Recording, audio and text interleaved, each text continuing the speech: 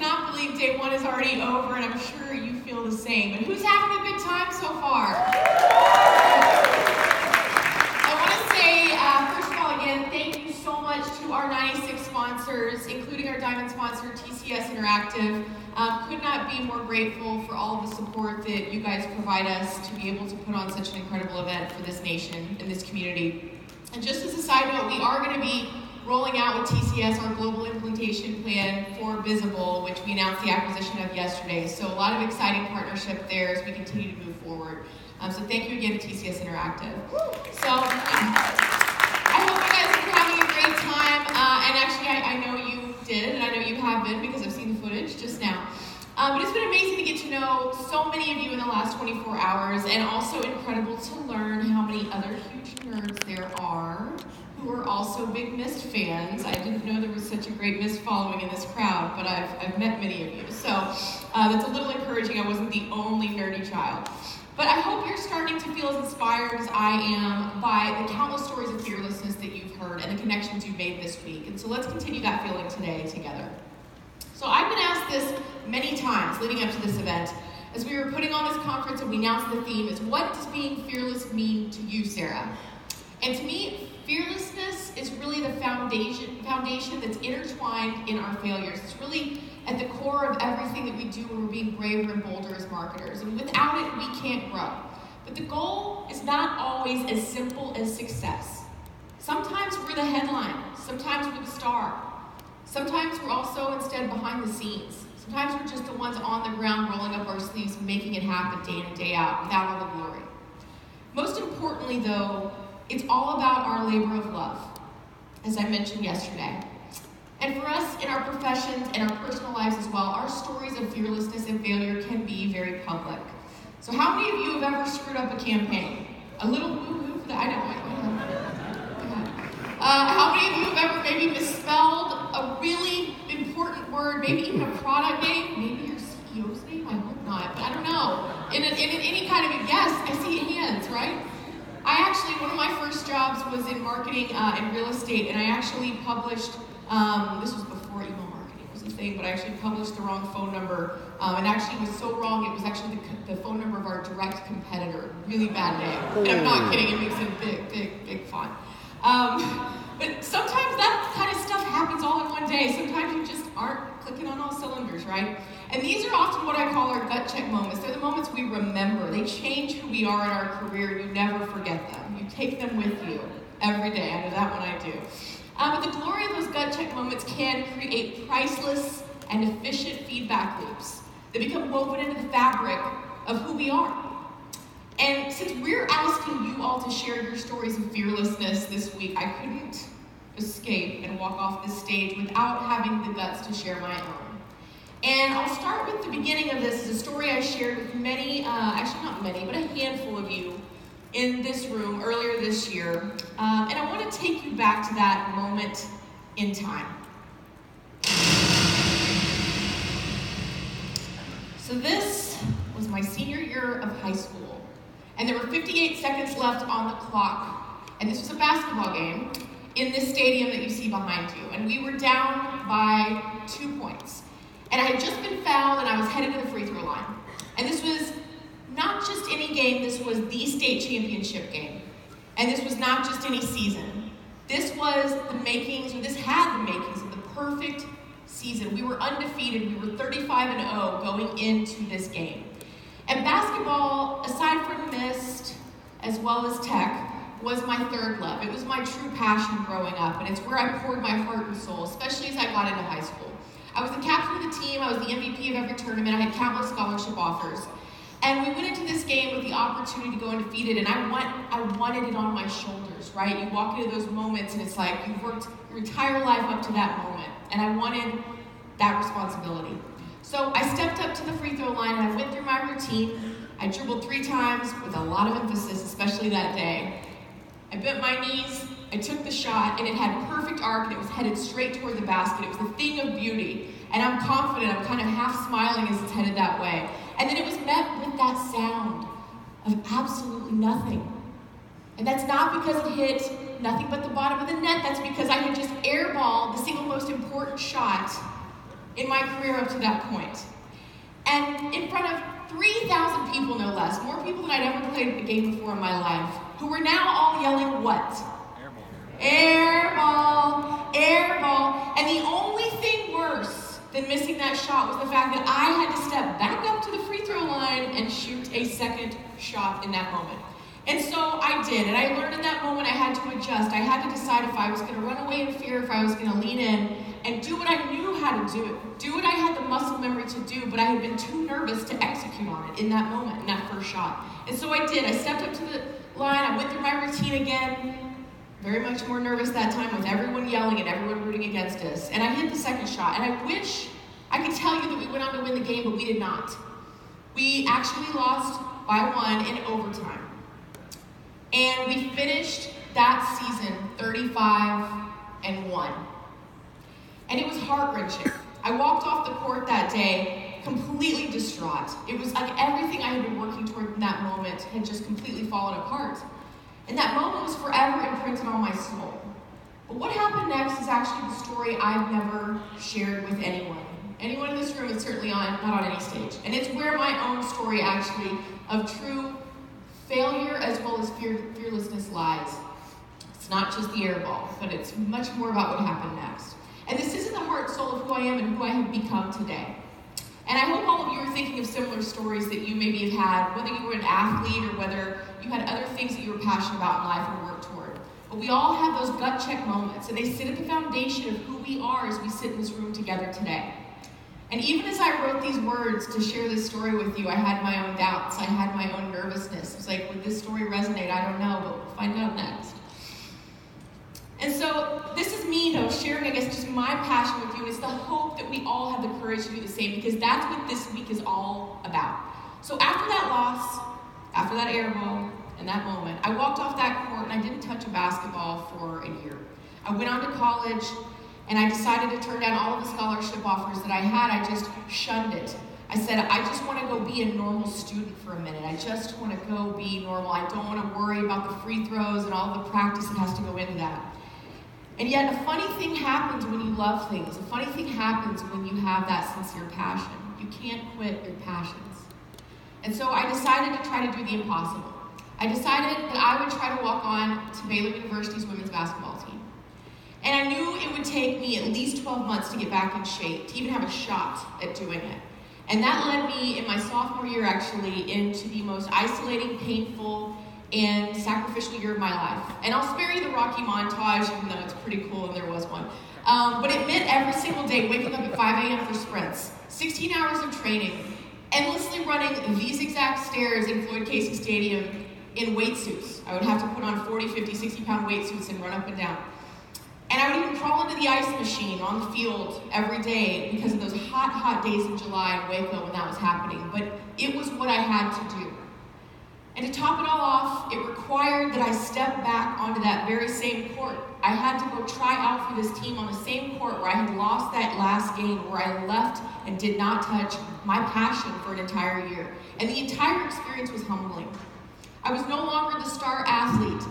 Everyone did not know my name when you're trying to be a walk on. I was not the headline, that's for sure. And for those who aren't familiar with the role of a walk on, and I actually want to ask did anybody in this room either try to walk on to uh, a college team? Make a little noise if you did. Yes? Okay, nice. Anybody actually make it? Yeah? Good? Yeah, okay, it's awesome.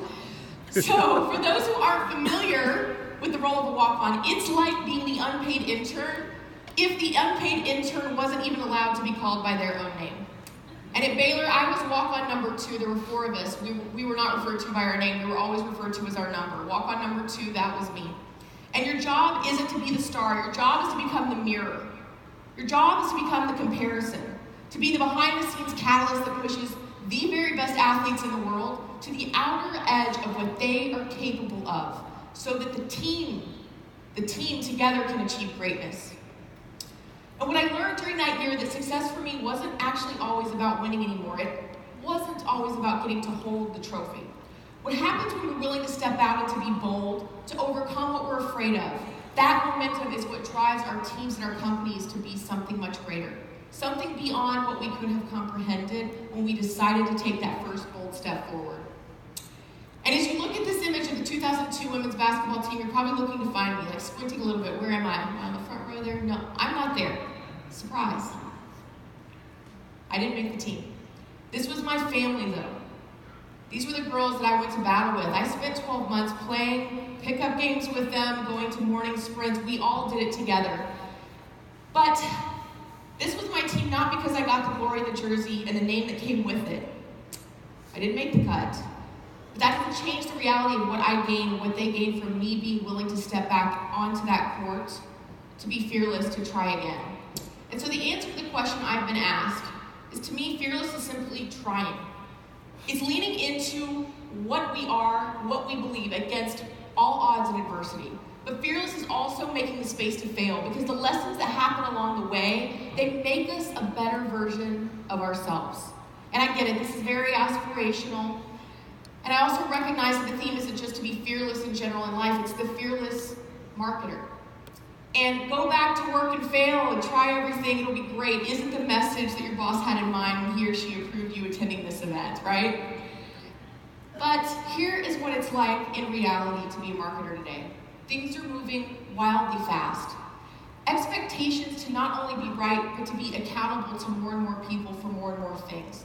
And to take on more responsibility for the success of your businesses. And to do this in an environment where, if we're honest, we have no idea what's coming next on any given day. To that I say, there are tangible things that we can do to make real bravery happen in our day to day. And I want to leave you with three thoughts to fulfill that purpose, hopefully, in each and every one of your own ways. So, the first is to change your perspective, change your view of what failure looks like, and change your attitude, more specifically, your attitude about failure, how you interpret it. The most important thing I took away from the experience I just shared with you is that failure is so often the beginning of a story in disguise. When your story starts with that failed campaign, that misspelled word, that wrong phone number, um, there, those are really the gut check moments that deliver us to greatness. Sometimes a very different kind of greatness than what we set out originally to achieve. And with that knowledge, I can tell you firsthand to accept the shift, accept the unknown, and learn from the journey and be comfortable stepping out no matter what comes next. Be open to the possibility that the journey you set out on or what you thought you hoped to achieve may evolve into something very different, something maybe much greater. The key is to have the fearlessness to take that action in the first place and then to embrace what comes next. So, the second, pick one thing. Keep in mind, of course, I think Mark Miller said this yesterday that fearlessness is not recklessness. We live in a new era of marketing accountability, and that is a really good thing. The marketer's role has unprecedented levels of importance in our organizations, and we have a duty to be the voice of the customer in a way that really does deliver results. We have to sit at the table with sales and confidently advocate for what we know will support and drive their success. And that new reality is not in conflict with fearlessness or the possibility of trying and coming up short. It is enhanced by it. Because we have to think hard about whether what's working today is what will work tomorrow, if we're truly doing our duty as marketers well. So, what you can do is pick one thing. Whether you're back in the same meetings on Monday that you've always been in, think about it differently. Pick a thing to experiment with. Pick something to take a stand on that you typically say it's just not worth the battle today. It's not worth the fight. It's not safe for me to step out and be bold about this decision or this opinion. And it may be a new campaign, it may be testing a completely untapped technology, a completely new opportunity, maybe hiring that candidate that you needed to take a risk on that you know can be great. We just need a fresh perspective. And we did that when we pitched this conference. Um, Steve mentioned this yesterday. I won't show you the embarrassing photo that he mentioned, but we went into Steve, when we, when we did go into Steve to pitch this theme, we could have gone in with two mediocre ideas, and the one we knew was the one. The one we knew was great. We could have taken an hour to do it, wasted everyone's time, hedged our bets, played it safe, just in case he didn't have the same passion for this idea that we did. But instead, we went in with the one idea that we knew in our heart and soul was the right one. And it's the inspiration behind why each and every one of you sit here in this room today and we're here talking and celebrating fearlessness. To do what you do best, to bring data in these meetings where you can do something different, to pick that one thing, and bring your conviction like we talked about yesterday. And then be transparent with your stakeholders throughout that journey. Practice that once a day. Just decide once a day, start thinking, what can I do differently going into this meeting, sending this email, working with my team on this new project? And then do it again and again and again. We need this type of muscle memory for us in our careers across every type of decision we make, and that we make that will await us next. So, finally, the last thing make space for your team. If you lead a team, your one thing should be your people. Be their walk on, be their mirror, be their catalyst, be their cheerleader. Give them space to learn from their own gut check moments. Make the space for them to try, to find new ways to engage, engage deeply. And let there be no limit to their possibility. Never dilute their conviction that powers their own greatest passions and capabilities in their lives and their jobs. And sometimes we're going to get it wrong, right? I, I mean, well, wrong, right? Sometimes we have to make sure, though, no matter what, that everyone learns from the experience and everyone has a chance to get better every time. Because it comes down to inviting the ideas and the differences and, frankly, eliminating fear through the support and respect that we provide for one another in that safe space that we create for our team. As leaders and even as peers, we have to do all we can to create this culture of empowerment. So, in summary, fearlessness for us all in this room as marketers occurs when we decide to be bold, to do work that pushes ourselves and our team to the outermost edge of what's possible for them. We can bring a certain kind of bravery to everything we do, and if we can change our attitude to be that walk on our team needs to do their very best work, that is all of the difference. That makes all the difference in the world. And in a world that's constantly transforming and moving forward, we have no choice but to do this as leaders. And I know it's hard when you're the only one who's got that opinion, right? The only one who's brave enough and bold enough to step up to have that crazy idea, who's passionate about driving change in your companies. It's difficult. I've been that person most of my career. But every single one of you has these stories of bravery, those big moments of gut check glory, worth sharing, worth getting up on a stage just like I am today to tell to the world. The best part of this conference is the power of this community of bold marketers doing this together, of sharing all of our stories. And there is not a better example of that than the Fearless 50. And I am I get goosebumps even introducing this because I am so proud of my team, my Fearless team, for being brave enough to find a way to make Fearless 50 a reality. It became the centerpiece of this conference in a powerful way. I think you saw all of the images and the banners of people as you walked in the building. I honestly, I mean, a little cheesy here, but I teared up seeing them when I walked in the door. It's amazing because this is all about you. And this has taken on a life of its own, and I hope that continues. And I hope you continue to share your stories of fearlessness. But it surrounds all of us as we sit here in this room today because your ideas, your stories are what brought this conference to life. And that's why I'm now so honored to bring the four now members of the inaugural class of the Fearless 50 on stage with me today. And I'm going to give you a preview of their stories now, which are brought to life by our incredible partner and sponsor of the Fearless 50, PFL, who has its own story of fearlessness, growing from a small town printer to a global MarTech empire. Thank you so much to our partners at PFL who truly understood the power of this movement and are here as our sponsors of the Fearless 50 initiative. So, with that, let's roll the tape. The fearless marketer is a ferocious champion for the customer. The most important characteristic of a fearless marketer is to be confident. The fearless marketer must have the confidence and the courage to lead by example. Being bold is a mindset. It's finding a way to channel that fear in order to accomplish your goal. Not being scared to take the next step. Not being afraid of doing what you think is right for the customer. Be willing to take risks and test new methodologies. Do something that dazzles and amazes. Put yourself out there, even if it means going way outside of your comfort zone. Step out there, be fearless and be bold. And most importantly, sharing that back so that all of us can do better together.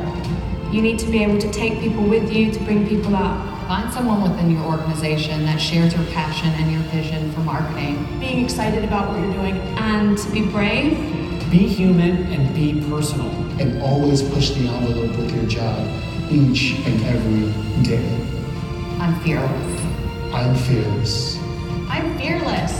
I am fearless.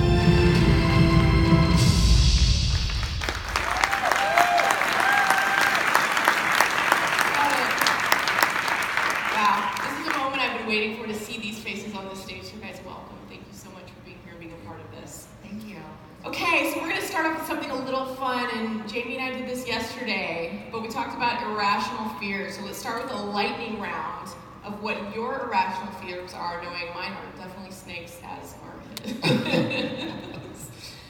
Emily, you want to keep Um, my irrational fear is actually the fear of missing out on this amazing photo opportunity. We're going to do this. Okay, let's do it. They didn't take my phone. Love it.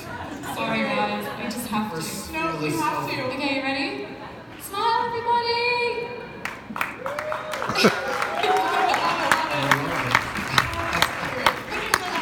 Yeah. Love it. Not We have to for throw you for a loop. Hey, I like it. Keep me on my toes, you know? I mean, I didn't have enough of that yesterday with Jamie, so I appreciate it.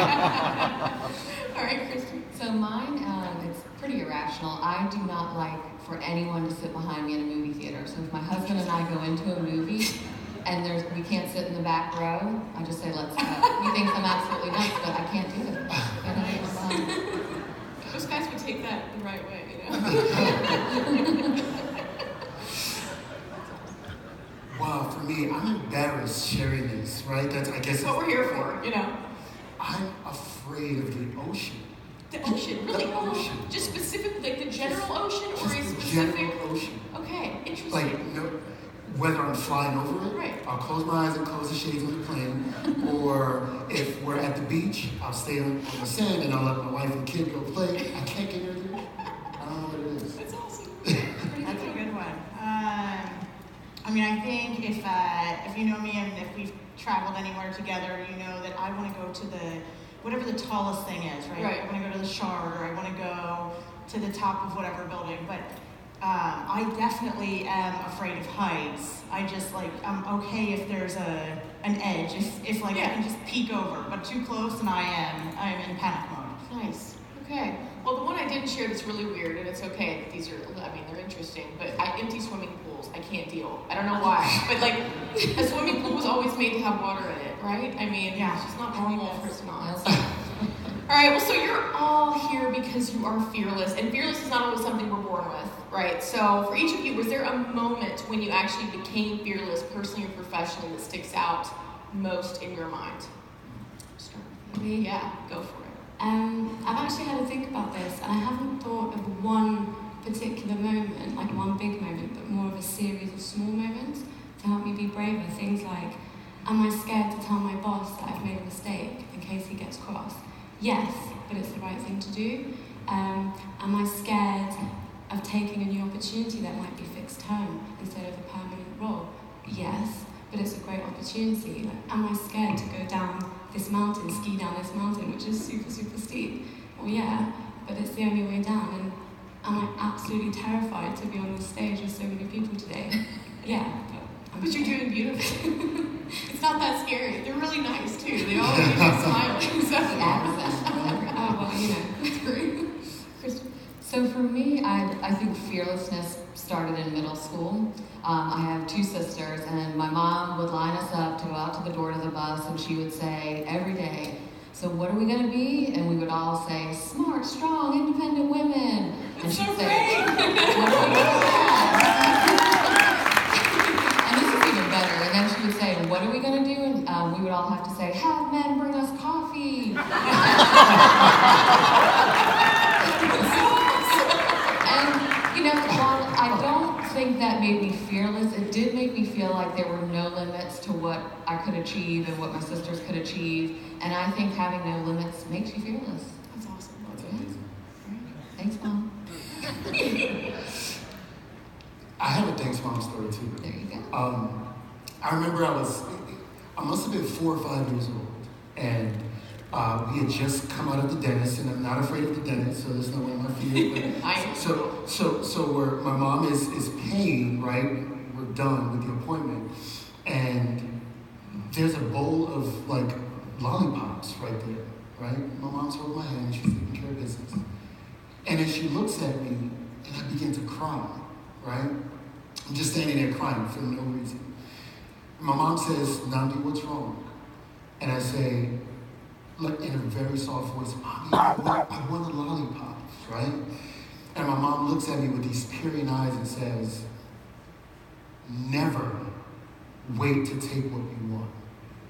That was the first moment of fearlessness. Love that. And the start of your shoplifting career. and from that moment on, every time I see a lollipop, even till this till now, I walk up to the bowl and I, I just take it. I love it. That was my first lesson in fearlessness. That's great. I love that. All right, Maria? Um, you know what? I think uh, what's interesting. I think uh, I'm a very confident person by nature, um, but there was this moment that I had with my sister, and I think this goes to our networks and how important they are. And we decided, uh, and this was in our early 20s, we were both going through some personal things, and we said, like, no matter what, it does not matter how bad things get or what ridiculous thing we do, and we have a list of those uh, that, that we were. Um, that we knew we got into some ridiculous things. And we said, you know, no matter what, we are going to stand by each other, whether we need a couch to sleep on or a bill to pay. And it gave me this protection to feel like I can do anything. And it, it caused me to move across the country and to do some big things. And so I think being fearless is not just about having to be an individual, but really building a team. And that's not just a work team, it's a team in anything you do. And I think that that has been really, really important to me. Great. All right, so Emily, you were nominated by our fearless leader in EMEA, Jamie Anderson, wherever he may be. Jamie? Because you do inspire others and you're not afraid ever to go anywhere and talk to anyone and make things happen. So, what is the most courageous thing you've ever done in your career or otherwise, and what did you learn? It's actually quite a recent development, um, but I have to rewind a bit so that you understand why it was such a courageous moment. Um, so three years ago, at work, um, there was a really important internal sales and marketing alignment meeting, and part of the discussion was to talk about Marketo and how it integrates with the CRM and any technical issues that we might be having and how it works. Um, so I'm giving my manager a crash course because she's not involved in Marketo every day. Um, but then so I say, well, why don't I just come to the meeting and I'll be there just in case there's any questions I can help. Um, but then she said to me that no, I couldn't go because um, at my level, I would never have any face time with the senior leadership team. And that was that. So fast forward to three years later, about two months ago, um, there is another very important meeting involving Marketo, involving a senior leadership team, and I'm not invited. Um, but this time, um, my CMO, hi David, he tells me about the meeting and he tells me that there's a VIP from Marketo attending. So I'm thinking, well, I've got what's going on? I've got to go investigate. Um, so I scope out this meeting, I go find out where it is, um, and then I look through the through the glass doors of the meeting room, and I see our CMO, our CIO, our Marketo account manager, two people I don't know yet, and Steve Lucas. And I'm like, I've got to go in there. But I'm like, hang on, I can't. They're too senior. I can't go in there. Um, but hang on, David told me, my CMO told me about this meeting, but he didn't tell me I couldn't go. right, I think this is it. I've got to go in there. Um, so I approach the door and I tentatively sort of peek my head in and say, Hi, can I come in? And they say, Yeah, come in. So I into the meeting, I shake hands with everybody, I meet Jamie Anderson, I meet Kathy Lehman and everybody. Basically, the C suite. And they invite me to join the rest of the meeting, and they didn't say anything about levels. And I think what I learned from that is there are opportunities out there. People won't give you opportunities, so you've got to be brave and take them. And if I hadn't taken that opportunity, I definitely wouldn't be here today. And that's like a really key message. But what I would say is yes, be bold, but pick your moments. Because I could have gone really wrong. kind of like with a bowl of candy as well. All right, so Kristen, you're director of marketing operations, mar- marketing operations. Wow. Um, and your former boss, who nominated you, called you a badass. So, what inspires your courage? So, uh, and I would say uh, right now I'm battling, uh, as probably know I'm battling a, a pretty serious health issue. and um, while many things fuel my courage, I would have to say um, if I had to pick one thing or one person, it's probably my dad. Uh, several years ago, he waged a fierce battle against esophageal cancer. And much older than me, um, he had a 17% chance of surviving the type of cancer he had. And he got up every single day. He went to work. He didn't complain about how awful he felt when he was on chemo. He never talked about it. It was just something that, you know, was part of his normal day.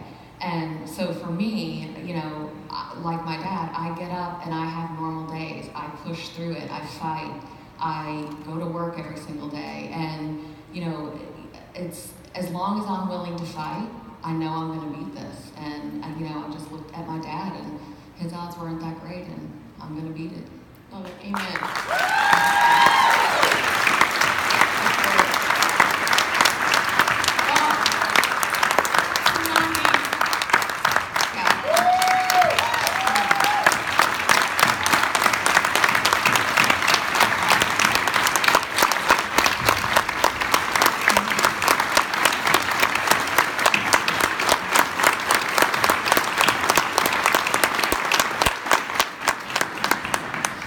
Oh goodness, I always get teary in a, in a standing ovation. It doesn't matter if it's like the opera or. okay, so not follow that one up. Um, so,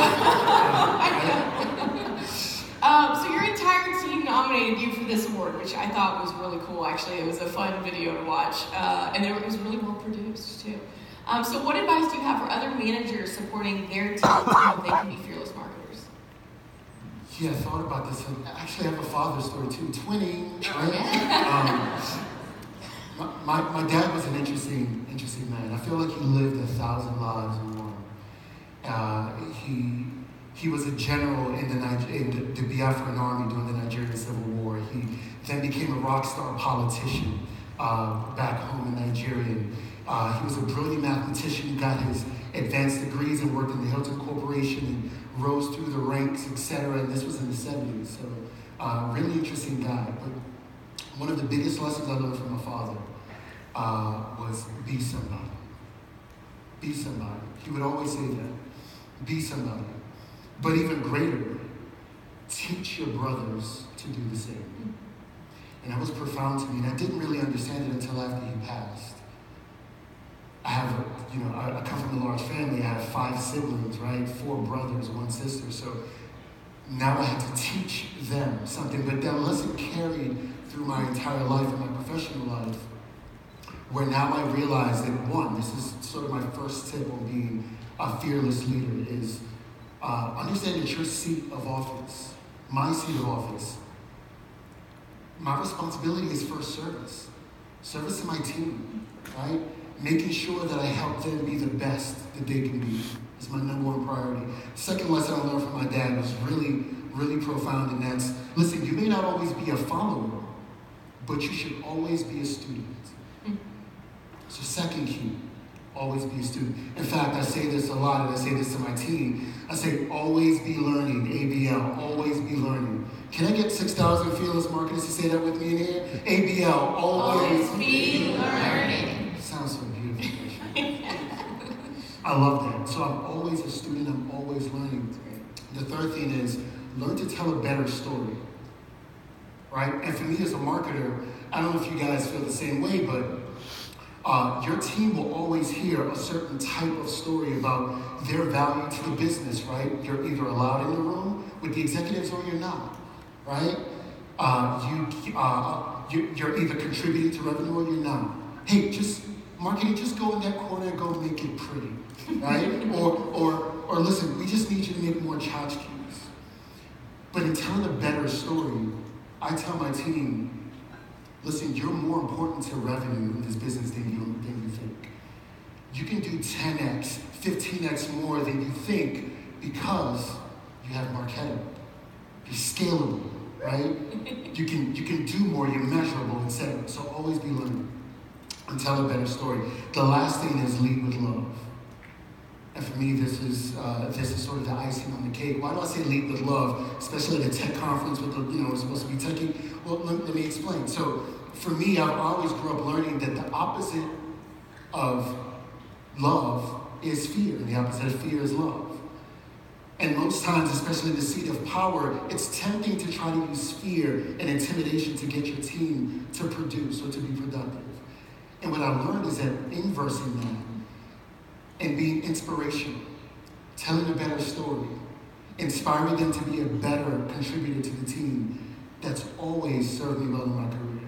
So those four tips, I think, are. That's beautiful. I love that. I need to take notes. okay, so thanks for Maria, so you have said you refuse to be a follower and you have a great reputation for that around this industry, I know. So what have you gained from having that personal conviction and do you think it's a stance more marketers should take?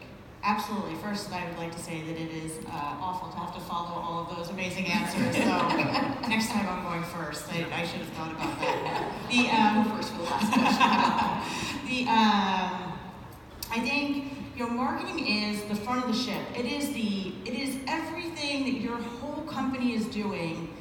You are the voice for that. It is that external facing piece. Uh, I love marketing. Uh, I love marketing, and it is because it is the, it is the strategy of the company.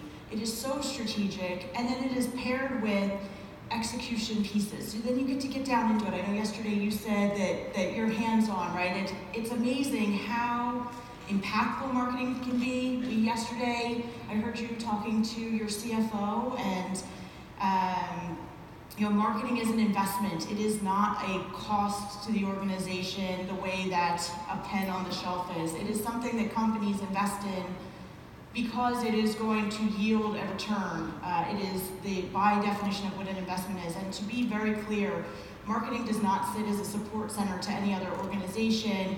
If we look at the definition of marketing, I was talking to one of Marketo's uh, great marketing leaders, Joe Raleigh, uh, yesterday, and was saying, you know, by definition, marketing is brand and selling, right? Sales is a part of marketing, not the other way around. And so uh, really understanding that value that marketing can create and taking it very seriously. We heard yesterday, um, Bill McDermott says that uh, brand companies, uh, brand-led companies are the best companies, and I think that's absolutely true. You are the voice for your entire company. You represent every individual in your organization. It is our job to uh, be the voice for, not only be the voice for them, but to leverage their voice. I work for a company of about a thousand people. My job is not to be the manager of the marketing team, but to give a voice to all thousand of those people. And when you really treat marketing that way, when you really respect uh, the amazing thing that it is, uh, it really allows you to be fearless and really take advantage of what is an amazing opportunity for all of us. So uh, clearly, I'm passionate about marketing, and I hope uh, you are as well. That's great. Thank you. Okay, so I'm going to be random with you guys on this last one. We won't be linear and go in order on this one. So, very last question. So, for everyone on this panel, what's the most important piece of advice you have for Marketing Nation to take back to their day to day to be more fearless? And let's start with Monty. Oh my yes, gosh. I know, I know. Whoa, you get Oh, I was already set. panel roulette. Um, you know what? You know what, Sarah? I think it starts with it starts the moment you walk out this room, everyone. Right? Um, go out there and high five a stranger. Right? Go out there and hug someone that you haven't met before. Exchange a business card. Go eat one of the fried crickets. Go, go, try the zip line, right? Being fearless, right, and taking these lessons back starts with taking in all you can from being here, right? You paid the ticket, you got the conference pass, you got on a plane to be here, right? Get all you can while you're here. Take out the notebook, take notes, take out your iPad, use the pencil, right? Do anything you can to soak in all the information and the experiences because that's what's going to keep you, right? Once you go back to your real life and have to face all your, your, your entire team and teach them fearlessness, it starts by first absorbing everything that Marketo has to offer right outside these doors. Amen. Love that. All right, Emily. Wow, that, that was, yeah, that was um, I would say always believe in yourself, always. Um, don't be afraid of taking chances and taking new opportunities because you don't know where they're going to lead you. Um, and what I've learned recently is always surround yourself with people who have your back. Yes, love that. All right, Maria?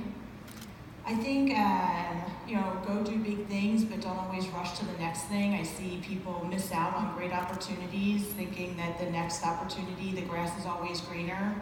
Remember when you're being recruited by somebody that it is their job to, to sell you on that opportunity. And so you really understand what you want to achieve, uh, you know, set goals for yourself, and then look for the opportunities not that's the biggest, I promise every person in this room could go get a job where you're making a thousand or two more a year, but you know, what is the opportunity that's going to get you to the next place and really understanding that and then making sure that you know your value within that and, and are making sure that those companies reward you properly. That's great. All right, Kristen. So I draw on personal experience here from um, you know my time in the business world. So, and I said it in the video: find someone who shares your passion, your vision, and drive. Whether that's in your company, whether it's part of the marketing nation, find someone who shares that passion. Um, you can always be better if you have a collaborator. I was fortunate enough early on in my career to find someone um, who was a great collaborator and believed in me and pushed me to be great. Thank you, Peter Herbert. He's also the person that nominated me for the Fearless 50. So I encourage everyone to don't try to take personal credit for everything. Collaborate with people and find someone that shares your passion. That's so great. I love that. All right, well, will you guys please join me in giving a big round of applause and saying thank you for these fearless marketing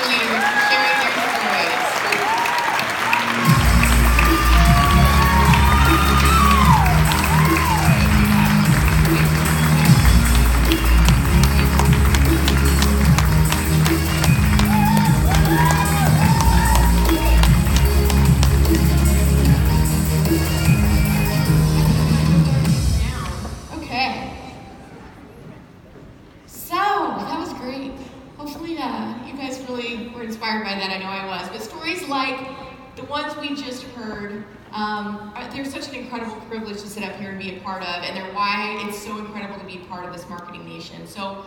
Um, I wanted to end by thanking all of you for the warm welcome that you've given me this week and sharing this experience with you here at this amazing event has been truly the highlight of my career to date. I know I can say that with full confidence. Um, but before I leave, I now have one more thing that I wanted to share with all of you. So, Marketing Nation Summit 2019 is going to Vegas. Be there, and we are shifting it to the cooler weather this time of year in the fall. So we're going to be October 20th to the 23rd in Las Vegas, Nevada. Mark your calendars. Heck, book, book your flights today. Uh, and until Friday, we're doing a special offer. You can buy your tickets for half off um, through Friday. So just go to the event website, uh, so events.marketo.com, and you can book your ticket for next year um, and do it at a special, special rate. So we're so excited to take it to Vegas and bring this energy and this passion um, to that city. So it's going to be a fun, fun year. Do not miss out next year. We know it will be even more epic than this year has been. So before um, I do exit, you have I wanted to just allow uh, a very special guest to come up before we introduce somebody that I um, respect a lot. But you have first seen um, our great, incredible sponsors, TCS, uh, as well as Google Cloud, Cirrus Bizible. Um, but you've seen them on the expo floor, and it does take a village to put on an event like this. So I wanted to say thank you one last time to all of our incredible sponsors. Um, and I also wanted to mention that TCS Interactive is our official party sponsor tonight. So Flo Rida is here thanks to them. And in addition to Flo Rida, you're going to see uh, a really cool silent disco uh, thanks to their team. So get excited for this evening. So speaking of TCS, we have one last story of fearlessness for all of you, and you guys, I'm so pumped about what comes next. Um, so I'm actually going to invite Kathleen